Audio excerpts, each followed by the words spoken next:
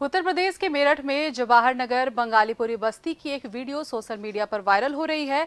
इस वीडियो में कुछ महिला और पुरुष एक व्यक्ति को रस्सी से बांधकर सड़क पर घसीटते हुए नज़र आ रहे हैं।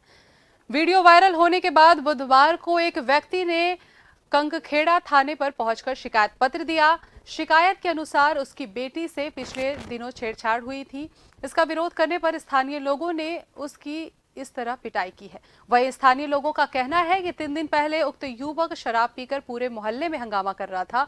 उसे काबू करने के लिए रस्सी से बांधना पड़ा पूरे प्रकरण में कंक, कंकखेड़ा थाने के इंस्पेक्टर तपेश्वर सागर के अनुसार वीडियो सोमवार का है।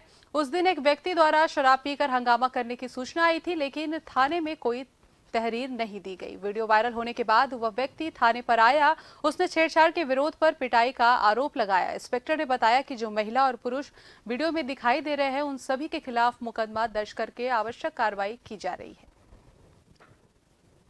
कंकड़खेड़ा थाने का एक प्रकरण आज संज्ञान में आया है और इसमें मद्रासी लोगों का कुछ एक समूह साथ में रहता है। इसमें आपस में दो परिवार जो पड़ोसी हैं, एक व्यक्ति ने ड्रिंक किया हुआ था उसके बाद उसने कुछ बोला जिसको लेकर दूसरे परिवार के लोगों ने उसके उसके साथ मारपीट की।